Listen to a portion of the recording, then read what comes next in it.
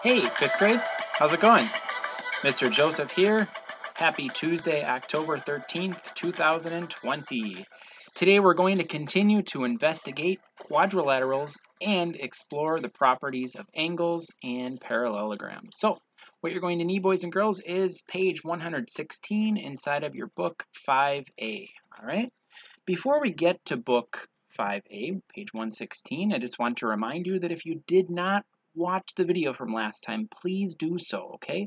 That video is going to be in the notes below, and it was from October 6th. We learned a little bit more about angle measurements of triangles. And today we're going to be doing something a little bit different, okay? What I'd like you to do is understand that every time you see this symbol, that you need to pause the video and do the problem on your own. Mr. Joseph is going to do a few of the problems, but I really want you to try to do them on your own, okay? Let's look at some vocabulary that we're going to be looking at today. The first vocabulary word is square, square, rectangle, parallelogram. Repeat these words after me. Parallelogram, quadrilateral, angles, equilateral triangle, parallel, congruent, adjacent, and the last word, trapezoid. Okay, those might be new words for you, so it's important that we understand what those words are. You can see that the word parallel is actually in the word parallelogram. And we're going to be looking at those types of shapes today, all right? Four-sided shapes. Remember, boys and girls, that a four-sided shape can be considered a quadrilateral, okay? Quad means four in English and Spanish, and lateral is just having to do with those sides, right? So let's look at a couple of examples. We have, for example, a rectangle, a square, a rhombus, we also have a parallelogram, a trapezoid, and a kite. Okay, those are all different examples of quadrilaterals and parallelograms. A parallelogram, boys and girls, is a shape with opposite sides, parallel, and equal. So for example, these two sides are not only equal, but they're also parallel, as well as these two sides. Okay, that's different from a trapezoid where we have these two sides which are parallel but they're not equal. This one's smaller than this one. And if we look at this, for example, this side and this side are parallel and equal, and these two sides are also parallel and equal. With a square, all four of the sides are parallel, equal, and the angles are 90 degrees, just like a rectangle. Versus a rhombus, no 90 degree angles. We do have parallel sides, okay? And they're all the same. All those sides are exactly the same. So let's go ahead and recognize and name these four-sided shapes. Remember, every time you see this symbol, I want you to pause the video and try the question on your own. Let's go to page 116.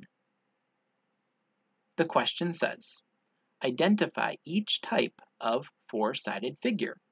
It says AB and DC and DC is equal to BC. So this side and this side are equal, and this side or this and this side are equal. What type of shape is that? Is that a rectangle, square, rhombus, parallelogram, trapezoid, or kite?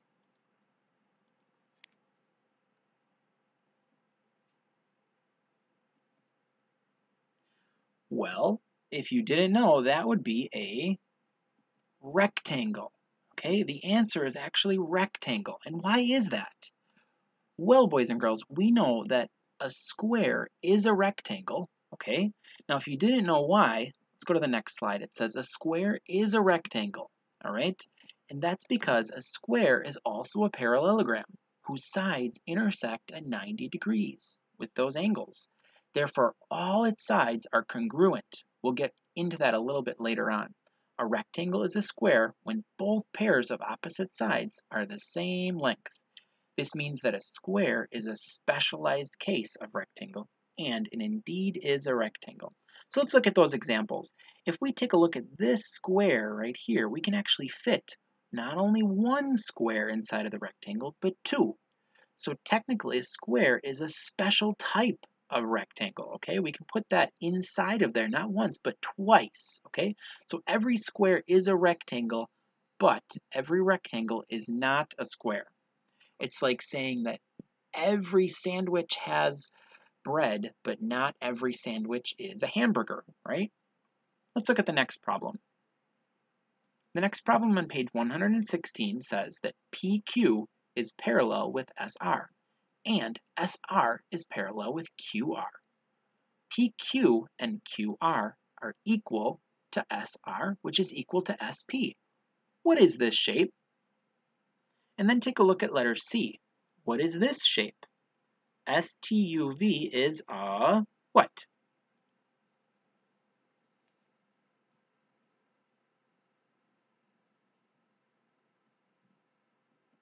All right, letter B is a rhombus. You should have picked that one because a rhombus has all the equal sides and opposite sides are parallel. So what's letter C? What is that shape? Letter C. Letter C is a trapezoid. It's a trapezoid, boys and girls, because, let me just show you an example of a trapezoid right over here. Two sides are parallel. So if we look at that example, this side, these two sides are parallel, but these two are not. Okay, so only these two sides are parallel. So make sure you write the answers rhombus and trapezoid on page 116. Pause the video if you need more time. All right, let's take a look at the next example on page 117. What is this shape? Is it a square, rectangle, trapezoid? What type? Well, I know that all of these sides are the same because it says that these sides are all equal. So that must be a square. Figure KNML is a square. Page 117, letter E. What type of shape is this? I know that EF and HG are parallel, so this side and this side are both parallel, and EF and HG are also both parallel. So what type of shape is that? It's a parallelogram because we have two sets of parallel sides. This is not a square, this is not a rectangle, it's not a trapezoid, it's called a parallelogram. Okay, a square and a rectangle are parallelograms, but this is a specific parallelogram. Letter F. What type of shape is this?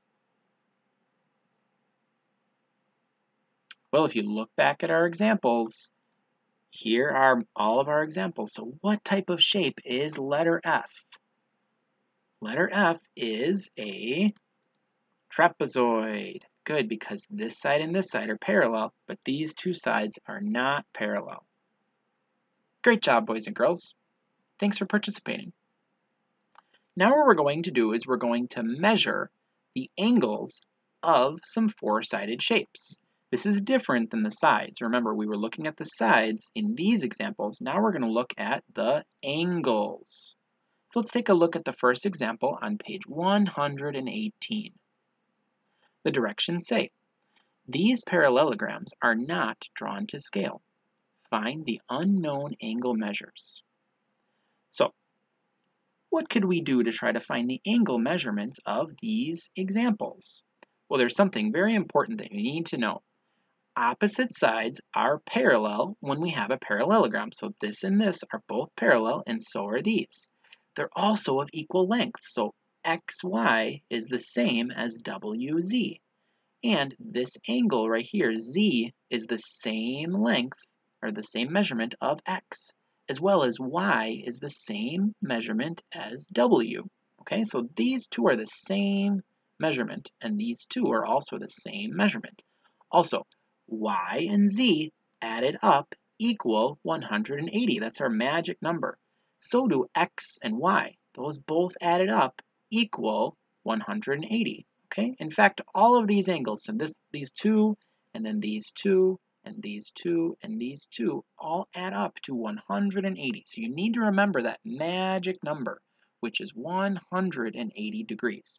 So let's go back to our problem on page 118. Pause the video and see if you can find out what the angle measurements are, A and B.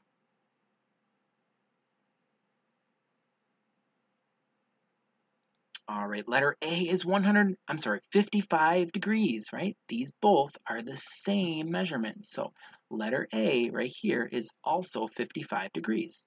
What about letter B? Well, I know that this angle plus this angle are going to equal 180. So I need to subtract 180 minus 75. Let's do that on the screen right here. We have 180 total. So this one and this one add up to 180. I can subtract 75 and I'm going to come up with 105 degrees.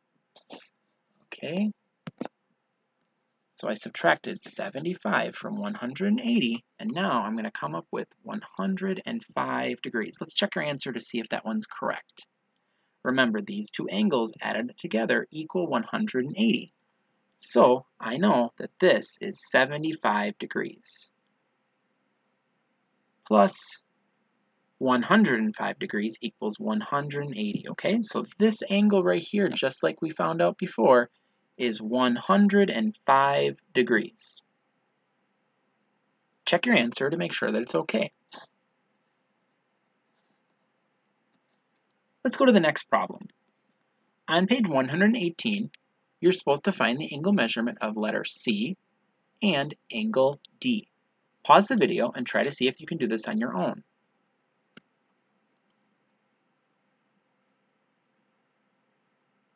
All right, remember our magic number 180. Let's check our answers. I know, boys and girls, that angle C is the same as the other angle on the opposite side. So these two angles both add up to 125 each. What about letter D? How do we figure that out? Well, again, these are opposite internal angles, so both of them add up to the same number, 110 degrees. Let's go to page 119, letter E. If I know that this angle is 80 degrees, what would this angle be? Pause the video and see if you can do this on your own.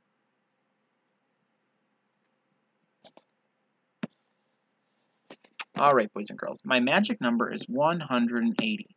I know that because this angle plus this angle equal 180 together. The total is 180, so I'm going to subtract the angle measurement that I already know, which is 80. 80 minus 80 is 0, and 100 minus 0 is 100. So this angle measurement is going to be 100 degrees. Let's check our answer to see if we're correct. So let's check that angle measurement to see if we were correct. Uh, which problem am I on? Let's just check that. All right, 180 minus 80 equals 100. So we were correct. What about letter F? Well, letter F is the same as the opposite angle, so it should be 135. Check your answers on page 119 to make sure that they're correct. Let's finish off this page. Page 119, letter G, is a little bit more complicated. How would you try to figure out this angle measurement, angle G? Well, if I know that this is 142, then this must also be 142. And 142 plus this angle measurement must equal 180. That's my magic number. Okay, so let's check it out. If we know, boys and girls, that G is equal to 180 minus 142, all we have to do is subtract 18 to get 20 degrees. What I did, let me just show you on the board, is I took 180, which is this angle, plus these two angles, right? Remember, when we have a parallelogram, this angle plus this angle are always going to equal 180 degrees. So Let's take 180 minus 142.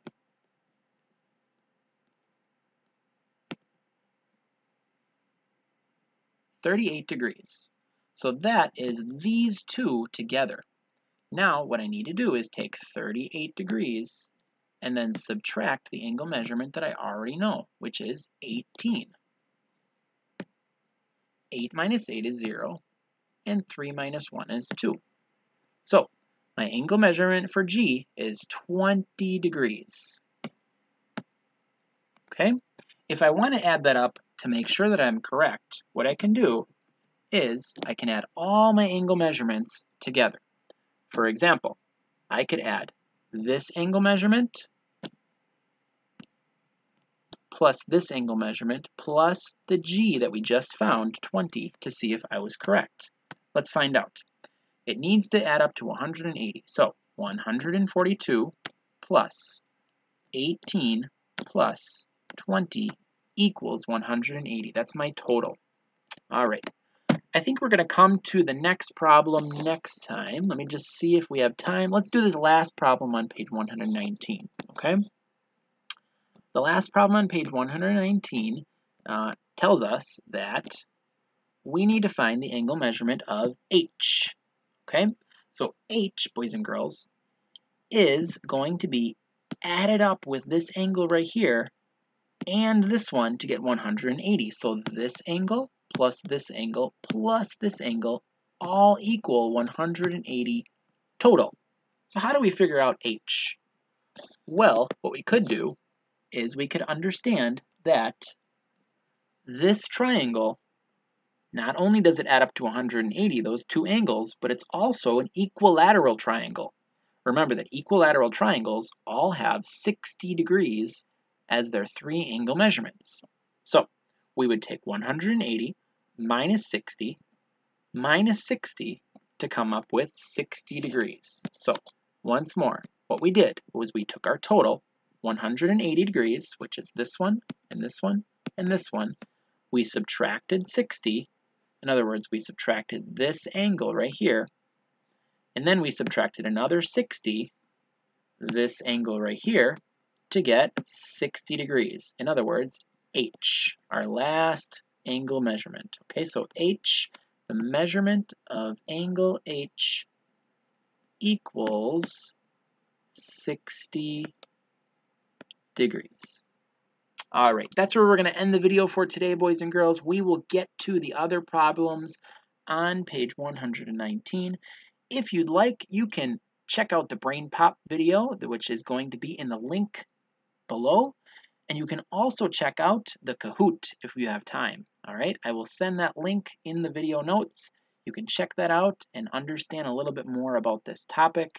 Um, click through that to see if you want to understand that a little bit more.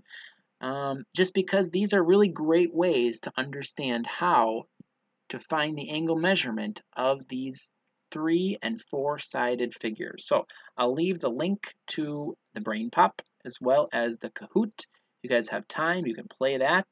Um, otherwise, check your answers on pages uh, 116, 117, 118, and 119. All right. Next time, boys and girls, we're going to be doing a checkup just so you guys understand this topic a little bit better. Here are just a, a little preview of what you're going to need to know. So remember how to use a protractor. Remember also what an isosceles triangle is, as well as a scalene and a uh, equilateral triangle. So make sure you remember all those things from the previous weeks. Okay, boys and girls? Thanks for paying attention today, and we will see you guys next time.